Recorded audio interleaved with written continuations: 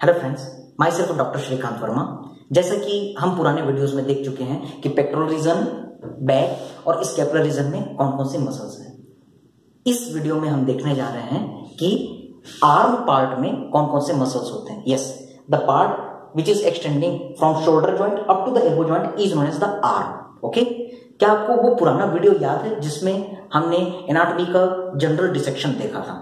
तो उसमें हमने देखा था कि अगर हम आर्म का डिसेक्शन करते हैं आर्म को कट करते हैं we are doing the transfer section of the arm then what the layers we will get yes we will get the outermost layer that is the skin the first layer is the skin skin के ठीक नीचे skin के ठीक नीचे हमको superficial fascia का एक layer मिलता है। Suppose this is the layer of the superficial fascia okay so this is known as the superficial fascia अब सुपरफिशियल फेशिया के नीचे हमको डीप फेशिया का थिक लेयर मिलता है। So suppose this is the layer of the deep fascia so this is the deep fascia अब deep fascia से modification निकलते हैं।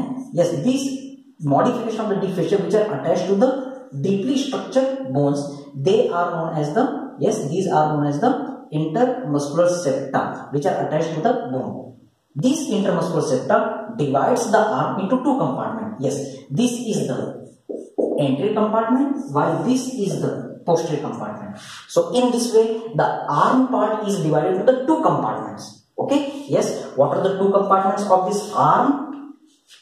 You can write down. The arm is divided into two compartments. Anterior compartment and next one is the posterior compartment.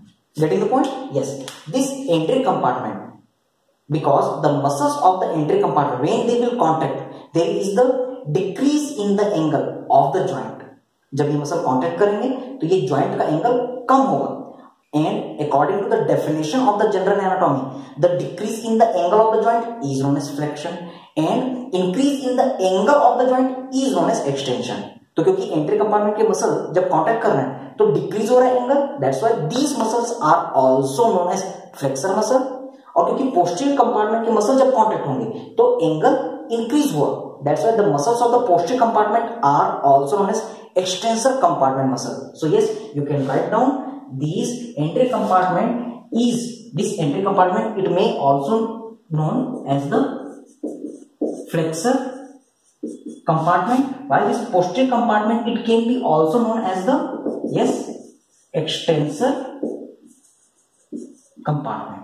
Getting the point. Okay? Now see here, the deep fascia will send the facial septa और इसके कारण यहाँ कुछ muscle के group बनते हैं in this way तो जो सबसे ऊपर में मसल होती है this is known as biceps यहाँ पर एक बड़ी सी बल्कि मसल होती है, जो बोन से अटैच होती है that is known as the brachialis yes this muscle is known as brachialis यहाँ पर एक छोटी सी मसल होती है which is known as the coracobrachialis जबकि पीछे वाले कंपार्टमेंट में एक बड़ी सी मसल होती है, यहाँ पर एक बड़ी सी मसल होगी, जिसके तीन हेड होते हैं। That's why this muscle is known as triceps so according to this image what are the various muscles of this compartment yes entry compartment consist of the three muscles what are the three muscles another way to remember is the trick BBC yes BBC is the tip so what is the BBC yes B for biceps Why this muscle is known as the biceps? Because this muscle is having two heads. Yes, bi means two. Seps, seps means cephalic. Cephalic means head. This muscle is having two heads.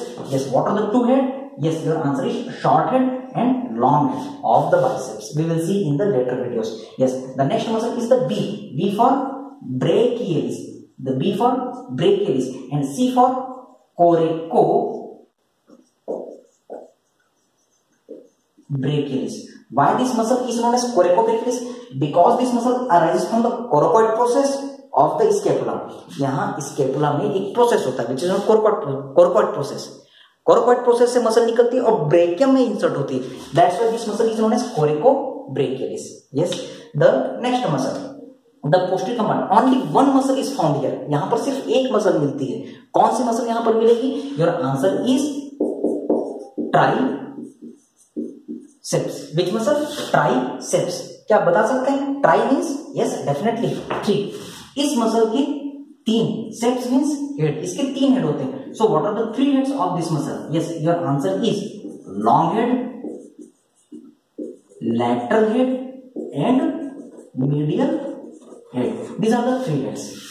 अब हम यहाँ पर Hilton law लगाते हैं. क्या आपको याद है हिल्टन लॉ क्या था जो नदी जहाँ से बहती है वहाँ के एरिया को सप्लाई करती है जो नर्व जहाँ रहती है वहाँ के मसल्स को सप्लाई करती है yes the nerve which is lying in a particular compartment so that particular nerve will supply all the muscles of that particular compartment the skin overlying that muscles and the joint over which that muscles are acting this law is known as Hilton law तो हम Hilton law को यहाँ लगाते हैं dissection जब हम करते हैं तो हमको इस एंट्री कंपार्टमेंट जो नर्व मिलती है that is known as the musculocutaneous nerve और पोस्टर कंपार्टमेंट में जो नर्व मिलती है that is the radial nerve तो सीधा सीधा सा answer this musculocutaneous nerve will supply all the muscles of the entry compartment yes it will supply the muscles what are the muscles biceps brachialis as well as coracobrachialis while the triceps will be supplied by the radial nerve so your according to the Hilton law all these bbc muscles these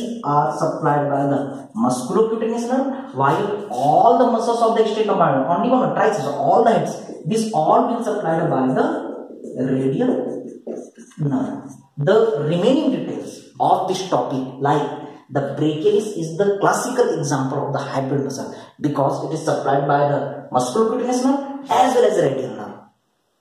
Okay, that's why this is the hybrid muscle. So these all the details we will discuss in the later videos. Hope that uh, all these videos are very simplified for you. तो इन videos को आप ज़्यादा से ज़्यादा like कीजिए share कीजिए subscribe कीजिए ताकि एनाटॉमी जैसा डिफ़िकल्ट सब्जेक्ट सबको इजी लगे थैंक यू वेरी मच